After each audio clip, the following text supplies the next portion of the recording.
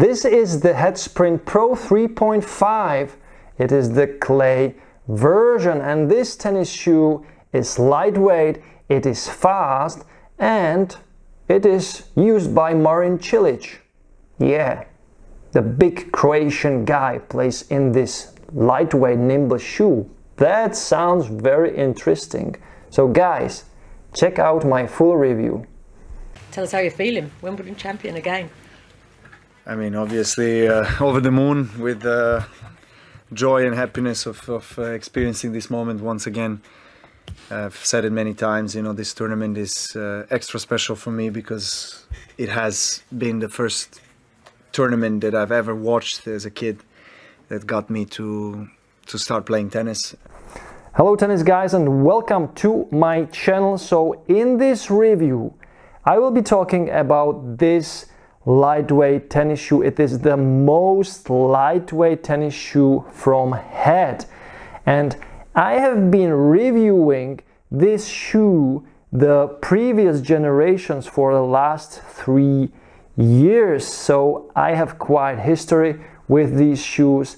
I always mostly like them or almost I love these shoes, but there are few few issues few problems that I don't particularly like, so we will talk about it in this video. But as usual, let's start with the weight of the tennis shoe because that is something I'm really focusing on when buying a new tennis shoe. I love lightweight and ultra lightweight tennis shoes and this is let's say in the sweet spot. It's not the ultra lightweight but it is a lightweight tennis shoe. So in the size which i'm having right here the size for me it is the uk 10 and a half us 11 and a half. European size it is 45 and in centimeters it is 29.5 so in this size the shoe weighs just 370 gram so it's not the lightest shoes on the market by far, not because the lightest shoes I've tested were about 330 to 320 gram. The Wilson Kaos Swift, for example, super, super lightweight, and these are a little bit heavier. And that's why, because reason for that is because they have this big uh, shank or what is it called this protection on the back which is made of plastic and obviously the plastic material is the and the rubber is the heaviest part of the shoe. So what is interesting that Marin Cilic, the big Croatian guy, is playing in this super lightweight shoe. And when I'm always talking about shoes, I'm I'm talking about how heavy guys should play with heavier tennis shoes to to get protected to get more stability because the more you weight the more protection and stability you actually need. But Marin Cilic he's a tall guy but a slim guy. And what is most important he really knows how to move on the court with precision with uh, I would say, with easiness, and he knows how to lay his feet on the ground in a really in a really easy and gentle manner. So if you are the type of guy, and it doesn't matter if you are like one 190 centimeters tall and you are like 85 kilos, if you know how to lay your feet on the ground, and if you are running most of the times and you are sliding, let's say, very gently on the clay court because this is the clay version, then this shoe can work for you as for Marin Cilic. So why not, guys? Why not? So as usual, I will start with the upper. So when we look at the upper, it's mostly a woven upper or meshed upper or woven. Woven it's a better term because the mesh is something that breaks very quickly, but this is the woven upper, very stretchy, very elastic, so there is no break-in period in this shoe as you can see. You can do this very easily. The shoe is quite flexible because the outsole is very thin compared to other shoes. That's why the shoe is so light. So the upper woven upper with some protection on the toe. There is this quite big toe guard and obviously this part which is the drag guard. And here comes my, let's say, first negative experience with the shoe. So this part of a tennis shoe and especially when you are a slider, when you're sliding, sliding on the court aggressively, and it doesn't matter if you are sliding on clay or on hard court, if you know that, if you can slide on hard court. So this part is uh, usually heavily damaged during the season, and that's why there is this protection. But when I look at the right right shoe, I already noticed that this part is coming coming of the shoe this part and this part. So as you can see as you can see I'm not sure if you can see it but it is going off the shoe. So this is my first negative thing. And the reason for that why it is breaking in this part is that it is glued. It is glued to the upper. And that is always something very let's say uh, it can it can break quite easily because glue yeah we know that glue when you glue rubber to rubber it can it it can really go off uh, quite quickly. So so that's why I like shoes uh, that that glue the that glue the protection and also that stitches the protection to the shoe. But the problem is when you have a woven upper and you stitch it when you stitch the rubber to the woven upper you can easily break the woven upper by doing the stitches. So that's why it is made only with the glue. And as you can see it's not holding very well. And I've played just a couple of hours in these shoes. So that's a, that's a small or at the end it can be a big disappointment for these shoes. So anyway, these are not the durable tennis shoes. You are not buying these shoes for durability. No way. By no means. So this is a fast shoe. This is a lightweight shoe and that's why the durability you need to count with a lower durability. So probably for someone who is playing really regularly like three four times in a week these will you will need to buy like two pairs in a season not just one pair. So yeah that's something you need to count with. What i what i quite like is the the delta strap technology. This is the lacing system. It is used on almost uh, every shoe by head. So there are these straps that go through the shoe. You can't see it but it goes through the shoe.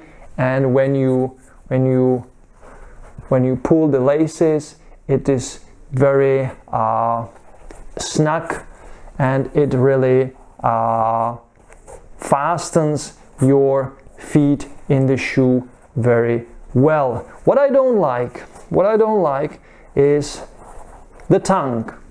The tongue is small, guys. The tongue is too small. It's too short. I don't. I'm not sure why did they make it so small and short. So one centimeter longer tongue. It would really be better when you are tightening tightening the laces because this is on the let's say on the limit. So when you're lace when you're tightening the laces, it might go actually the laces might go over the tongue, slip over the tongue, and they will be uh, you will be lacing the, the, the laces over your over your foot, and that's not good.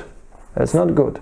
So on the back of the shoe, there is this massive uh, sta stabilizer, let's say, that stabilizes the tennis shoe. It's something that is very well known for the Sprint Pro series. It has always been there. For some people, it might feel stiff, but actually, uh, the, the overall feel of the shoe is stiffer because it is a more nimble shoe with less material, less padding. So overall the feel of the shoe is quite stiff and hard so you need to count that in now if we look at the shoe you can see that this back part is quite high but it's not actually that high the reason for that it looks like it is very high is that this this part is cut out uh, very deep so this is another issue I have with these shoes. So if you cut out this part, once again, you lose the feel that you are protected inside the shoe. So your uh, your ankle is going up from the shoe and you don't feel protected in this part of of the feet so that's something i don't like that i don't like too so I like shoes that give me more protection at this place. So, so it's a shame they don't they don't make the the edges a little bit higher there, so you feel really snug in the shoe. So when we look at the when we look at the padding or at the cushioning, so this is something that has been there for, for several years now. So uh, Head is using the Tri Energy cushioning foam, and this foam consists of, let's say, three types of foam. But at the end, you don't notice that you you actually feel that this foam is very hard. Maybe it is now a little bit softer than in the previous generations in the version 3.0 but still it is very hard to compare to other shoes I reviewed so once again what does it mean if you have hard cushioning you will have great feel for the ground. And that's something what I really like about these shoes but you need to know how to lay your feet on the ground. You really need to move on the ground like a tiger or like a lion.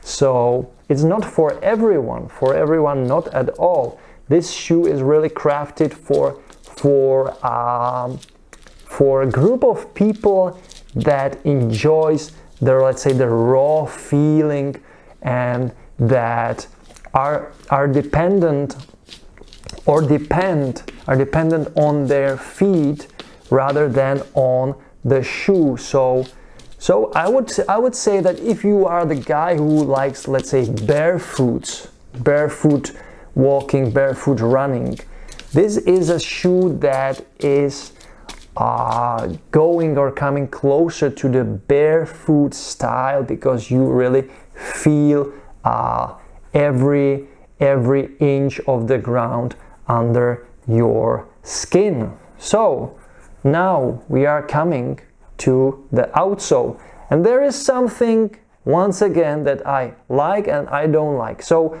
what is interesting that Head is using this uh, this tunnel, which is the cooling system.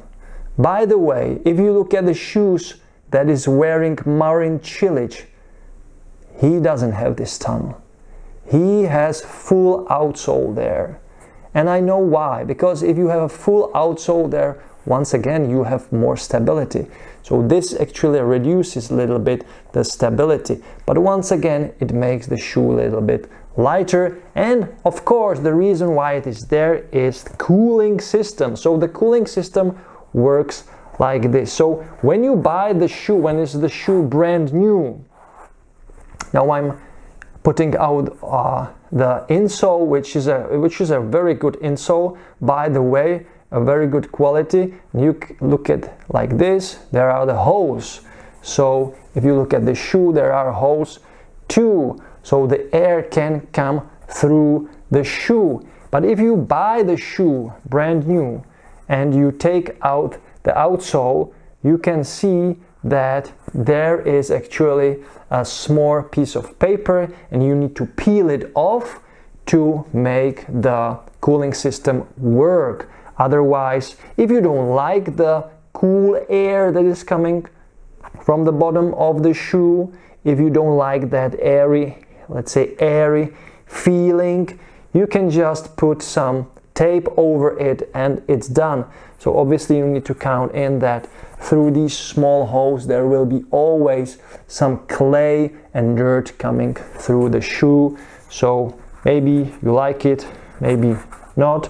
I did play with opened cooling system and I liked it actually and it helps you to cool your feet when you're playing in summer on a hot tennis court it will definitely help you and I like that so I use that. So I usually usually use all the technologies that are in the shoes because they are engineered for for a reason. So yeah.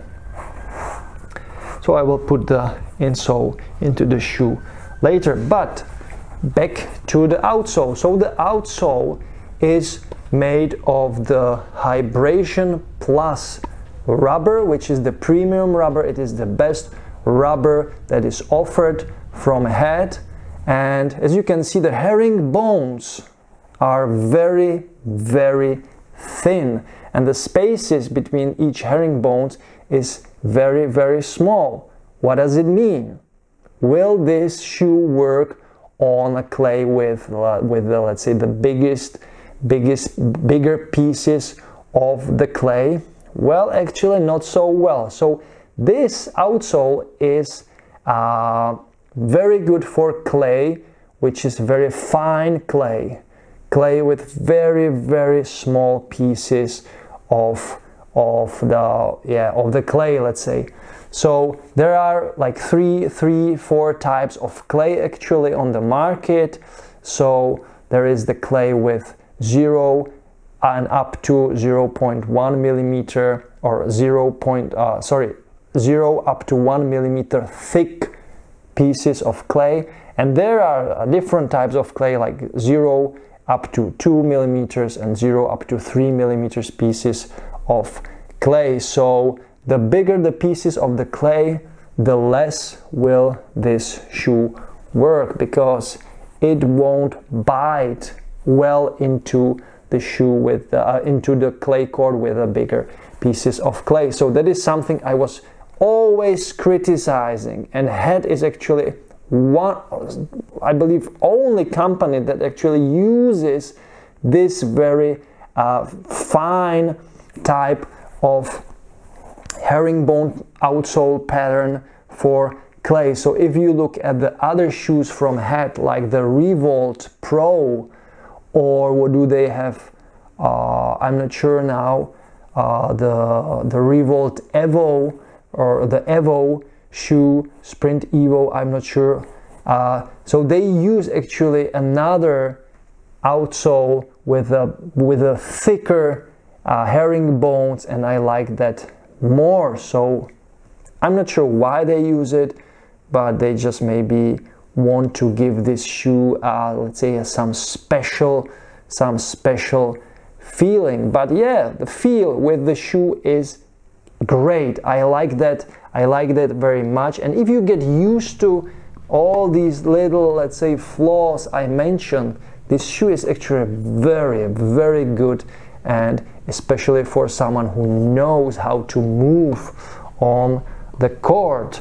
So this is also, this part is also a little bit stabilizing the shoe so it doesn't twist too much. And as I said before, this shoe is in this part very flexible because the cushioning is very thin and hard. So guys, this is a quite controversial shoe. There are lots of issues that I talked in this review and you need to count them in when you're buying this shoe. But on the other hand, the feel and the, the, the sensation that, that you are you are really like uh, connected to the ground. It's like when you're playing really a barefoot, a barefoot in a barefoot shoe. So that is something that is really special for these shoes. So uh, the negative things are big, but also the positive thing that the feel that the feel for this shoe is really really great. And and you don't you don't know that you are wearing these shoes when you play in them. So that's that's really something that can that can work for some of you. So guys this was my review for the Head Sprint Pro 3.5 clay version. This shoe is worn by Marin Cilic and yeah Cilic doesn't have this. He has the full flat herringbones there. And yeah beside the negative things I actually like this shoe so I can recommend it but be be be beware or be warned that the durability is the not, is not the best by far but we need to count that when we're buying a lightweight tennis shoe so guys let me know in the comments whether you like head tennis shoes, whether you like this particular version, whether you played in these shoes, or if you heard something, something from your friends, from your uh, from your surroundings, from your tennis uh, fellows. So yeah, and as always, you can support my channel by doing two things. You can buy me a coffee the link is below in the description and you can buy these t-shirts. So this is the Serena Williams t-shirt. It's a limited special edition. I will put a link on my shop below. And this is obviously, you know, this Swiss guy. Yeah, he was quite good. He played really good tennis. He retired recently on Laver Cup. Yeah, quite good, quite a good guy. Yeah, you know him, FedEx. Yeah. So these are the two limited editions with this sign, with this text, Goddess of Tennis and God of Tennis, limited only 1000 pieces. And on the back of the shirt, there is this tennis guy logo. Okay, looks nice. And yeah you can buy them. So and you can support me by buying these t-shirts. So all the money i get from the t-shirts and from the buy me a coffee i invest back into making videos so guys thank you very much for watching. Thank you for subscribing for commenting for everything you're doing with me in cooperation with me and as usual don't forget to enjoy tennis, play tennis, and enjoy the maneuverability. And I will catch you in my next video. Bye guys.